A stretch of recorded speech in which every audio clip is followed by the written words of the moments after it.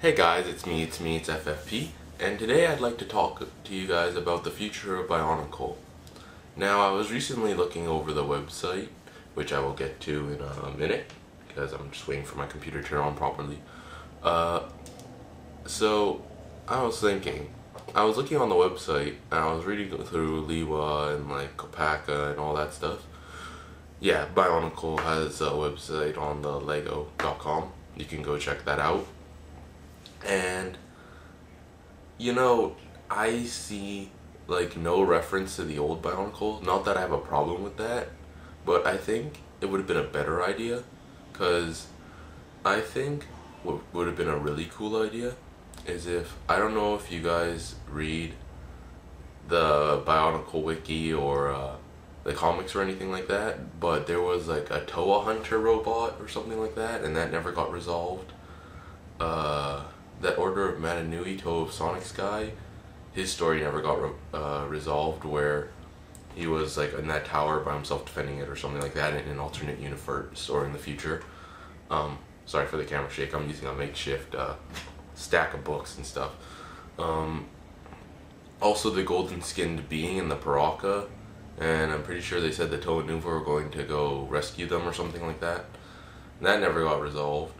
So I was thinking, my opinion is that I think they should have, like, because if they started the story at Spherus Magna already, they already have all those new plots they could continue and use that as like a new thing, so they don't have to like bring back Makuta. So then like all the veteran Bionicle people know that oh, well this is a new story, but something we already know a little bit about, and that's really cool, right?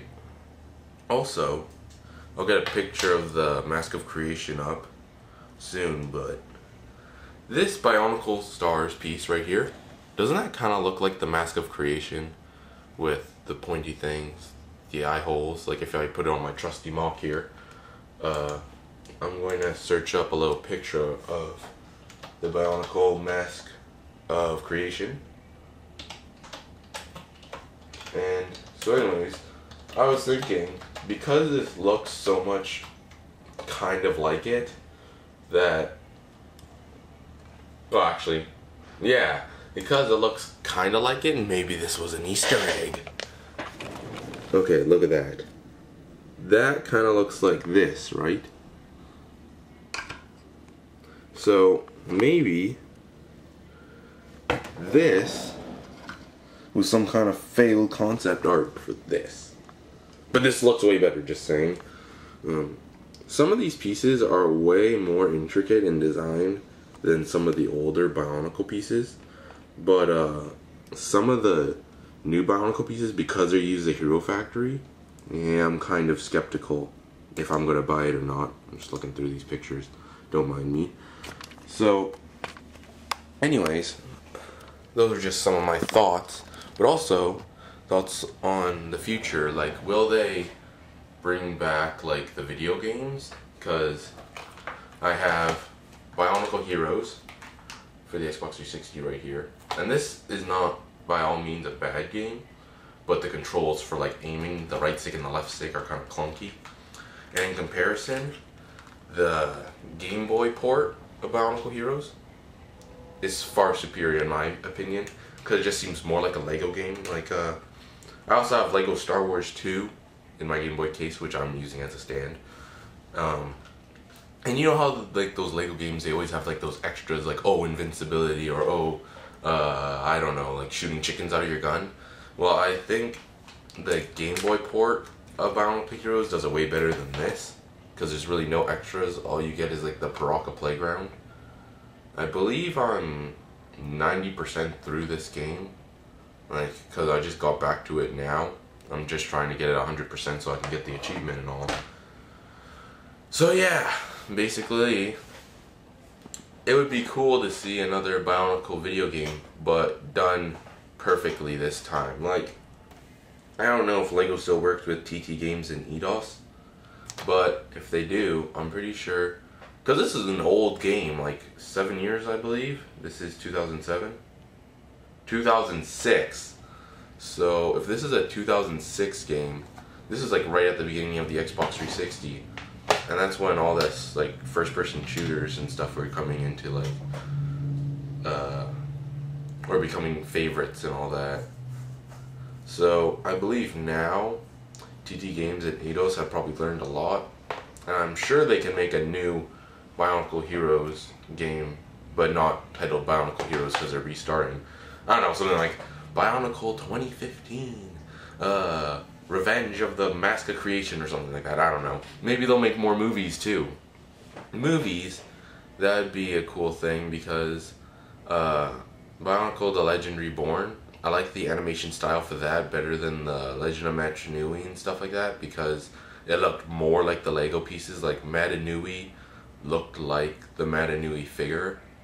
And like if you see Vakama from the movies, his mask looks vastly different. But I don't really complain because overall I do like the older movies better than the Legend Reborn. Because in my opinion, Legend Reborn is more childish and uh, shorter and not as good as the originals. Ah, another movie thing where the originals are better than the sequels. So yeah, especially because the time gap. There was like they went from Mata Nui all the way to Spherus Magna at the end. Like they had no movies for the Toa Inika, none for when they were in Mahri Nui, uh, Karda Nui, and like the Glatorians. Well, actually, Legend Reborn kind of covers that the first year, and um, yeah, it would have been cool to see a movie for these guys because the Piraka they have a lot of personality in this game, even though this game is non-canon. And as you can see on the back of the box, uh, Kongu is holding the Lewa's air axe thingy. Oh, even about that, the green Bionicles are no longer represented by air. They're represented by jungle now. And uh, that kind of got me off. Like, I wasn't too surprised because even when I first started collecting Bionicles, when uh, like 10 years ago or something like that, uh, I used to think that too. Because, you know, when you think about air, you don't really think about a color. But I guess green would be the best for that. Because blue is already taken by water. Um, so yeah. Now it's jungle. Lewa is jungle. And I don't know if you guys you guys can check the website after, but Lewa's mask looks so different. It's not even funny. It looks like a kind of like a gas mask kind of thing. Like the mouth, how it's like that circle thing, looks a lot like uh, Tahu's old mask. I'll search up a picture of it right now. You guys can see it. Also, the fact that they don't use Toa anymore, and now it's called a what's it called? Uh, protectors or whatever. I don't think they should do that because it doesn't seem original or whatever. Okay, let's see a picture. This mask looks so different from the original. Like, I know they're trying to reinvent themselves or whatever, but that just looks so much different. See, there's a bigger. See what I mean? Like, if I got the, well, let me close that. If I got the uh, original Lewa mask that I'm using for one of my MOCs, my Toa Vice, if you guys didn't know, if you guys didn't watch my MOC six, um, then yeah, this mask looks so different. The only thing I'd say is that see the mouth design, you can still see the little holes, and that's kind of reminiscent. But basically, the rest of it, like all these like weird looking fan things on top, it's kind of different. Also, if you look at this picture, I don't know if those are supposed to be axes. I didn't read entirely on the website, but they probably are. Uh, they just look so different. I'm not all against, but it looks so childish in comparison. Like the one thing I have to say I don't like is this this like little chest piece. It's like so so childish looking. Like um like none of the older Bionicle parts had any like sticker paint or whatever on it, and like the rest of it looks cool. Like I'm not a fan of the Hero Factory parts, but I bet I have a feeling Lego will change that in the future. Like maybe if enough of us fans rise up and say, "Yo, are you gonna bring back the old Lego pieces?" We'll be like, "Yeah, sure, why not?" Because I mean, if you think about it, the original Toa Mata uses like clunky ugly bodies. And now, uh, oh, wait a sec. Let me get that. Man, sorry for that interruption. That my phone's like constantly ringing, so if someone else phones, don't be too surprised. Uh, so yeah.